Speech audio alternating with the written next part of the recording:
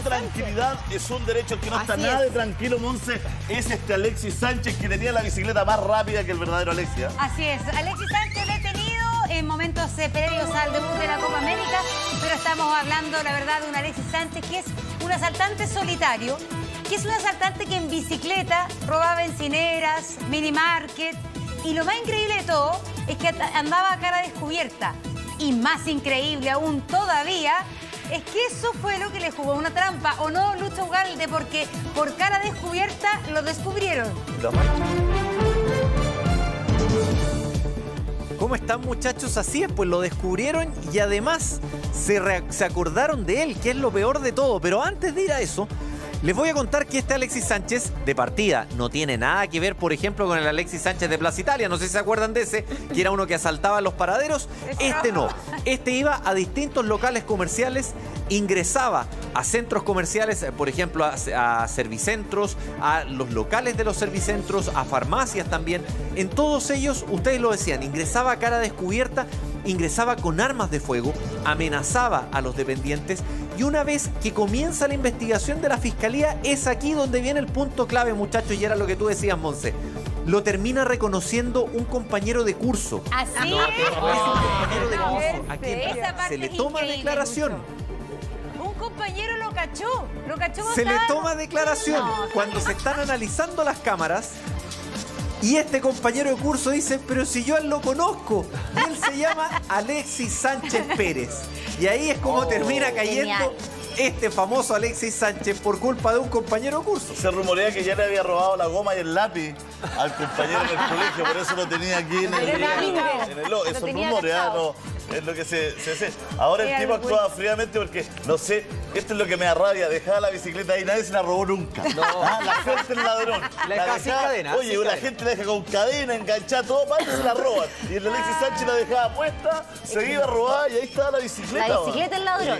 No era nada el ladrón que roba el ladrón, tiene 100 años de perdón. Oye, Lucho, ¿cómo robaba él? Porque ahí estamos viendo las imágenes justamente de las cámaras de seguridad llega súper raudo en su bici, se baja ágilmente, pero entra, como decíamos, a cara descubierta y súper tranquilo. Eso es lo más impresionante de todo.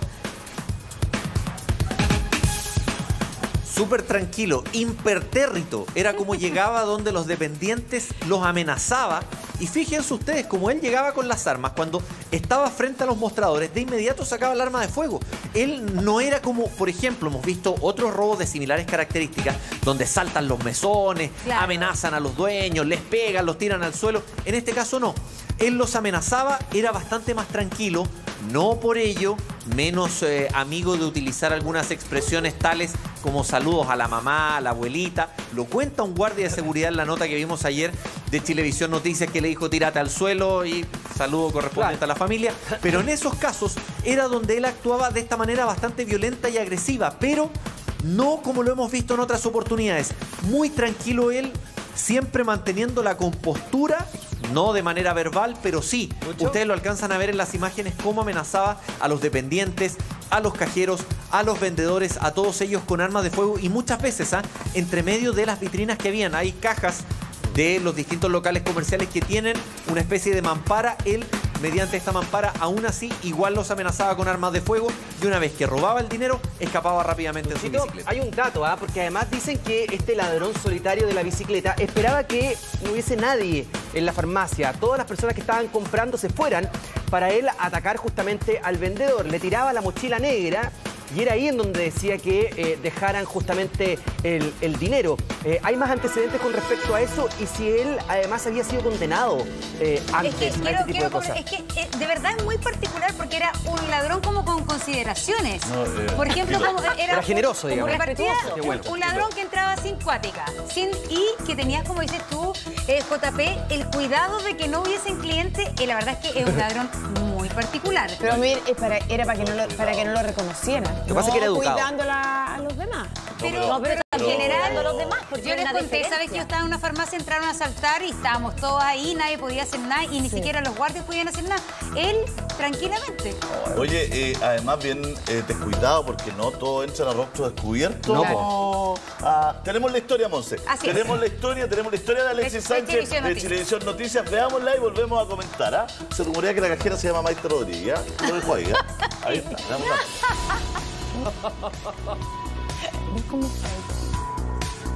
Cuando aún no se tenían pistas de su identidad, fue bautizado como el solitario asaltante de la bicicleta. Una suerte de ladrón ecologista atípico, no contaminante, que se repetía el plato, robando hasta tres veces un local dentro de la misma semana.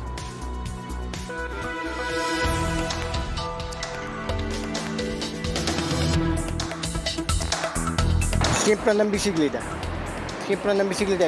Asaltado, por ejemplo, este local que es el 267 de Cruz Verde, el 406, y acá en Rodrigo Araya también asaltado. O sea, en resumidas cuentas, asaltado casi la mayoría de, la, de las Cruz Verdes. Se eh, lograron acreditar más de 10 delitos de esta naturaleza, eh, como dije siempre, en el mismo eje, eh, en, el eje de la, de la avenida Macul. En algunos casos, cada tres días, en tres días había atacado a la misma farmacia en dos ocasiones. Los atracos no eran ninguna epopeya, más bien respondían a un sujeto muy observador que entraba a locales con poca seguridad y en menos de 30 segundos salía con dinero fresco en efectivo.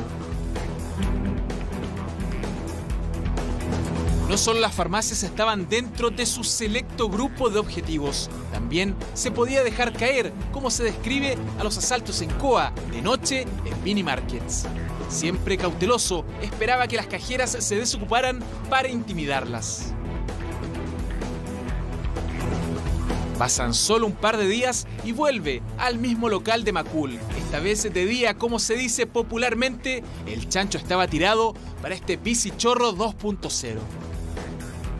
Las víctimas son las que en su minuto lograron transmitirnos que la misma persona se había retirado en la comisión del delito y por lo tanto, una vez que estableciéramos su identidad, ya, entre comillas, eh, el imputado no resultaba un sujeto desconocido para las víctimas y estaban en condiciones de, de reconocerlo en un CARDEX.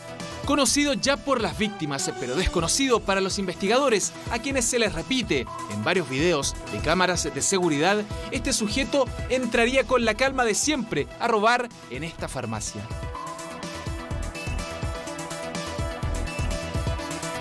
Desesperada, la trabajadora saca la caja registradora completa al ver que era amenazada con lo que parecía ser una pistola.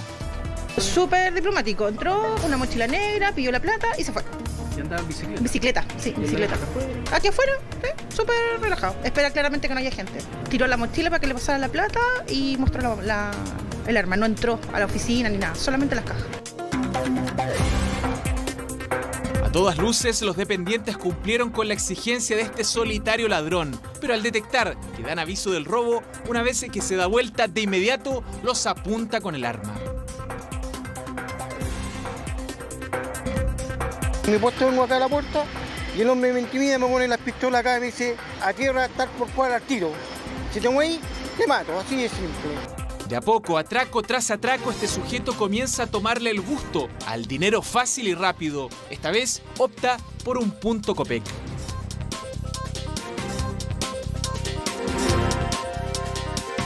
Pero su abuso de confianza, al actuar sobre seguro y no ocultar su rostro, entrar descaradamente al mismo local varias veces, va arrojando algunas pistas, características físicas principalmente, que logran retener sus víctimas. Delitos en que se roban sumas de, dinero cercanas siempre a los 100 mil pesos desde las cajas. Es un hombre solitario de unos 30, 35 años aproximadamente que tiene un lunar y a partir de eso eh, eh, se levanta esa información y se analiza y se seleccionan varios casos que reúnen ese mismo patrón. Claramente hay un asaltante en serie en el sector que no distingue entre víctimas, solo quiere efectivo, sin despertar mayores sospechas incluso entre otros trabajadores o clientes que pudieran estar en el local a la hora del robo con intimidación. Y como el crimen perfecto no existe, ya sea por descuido del propio delincuente o por una desafortunada coincidencia, días de impunidad del viceasaltante estaban contados desde el momento que se topa con un viejo conocido, algo que no estaba en sus planes. Una de las personas que había sido víctimas de estos hechos eh, se acercó al personal que estaba desarrollando la investigación eh, por instrucción nuestra e informó que, curiosamente, eh, conocía al sujeto porque había sido compañero de colegio de él. Incluso este testigo entrega el nombre. Que se me parece que se llamaba Alexis eh, Sánchez. A partir de eso, la policía Carabineros lo que hace es, bueno, recabar la información de cuál era el establecimiento educacional eh, que, que esta víctima. Este sujeto es Alexis Sánchez Pérez, un nombre difícil de olvidar para los investigadores. De hecho, es una rara excepción, una anomalía entre los asaltantes que la mayor parte de las veces andan en grupo.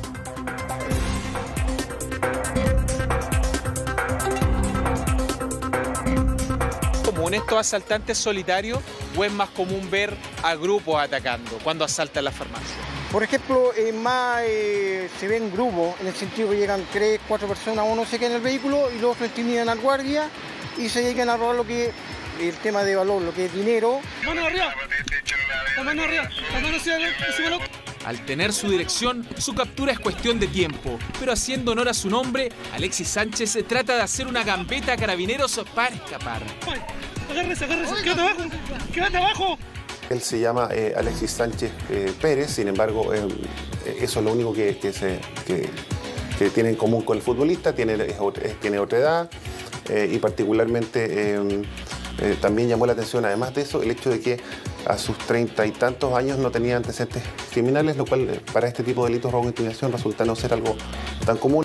Ya con una gruesa carpeta investigativa donde figuran una docena de delitos similares, Fiscalía Oriente logra que el tribunal condene a Alexis Sánchez a una pena de 10 años de cárcel. imputar hechos que significan una reiteración y eso eh, aumenta eh, o, permite o persigue aumentar en un grado la pena establecida en la ley sin perjuicio de que él tenía una eh, irreprochable conducta anterior. Lo que interesa a la Fiscalía es que sea una pena efectiva y que sea una pena de, larga duración, precisamente para evitar que, que este sujeto esté en libertad y siga cometiendo delitos de esta naturaleza.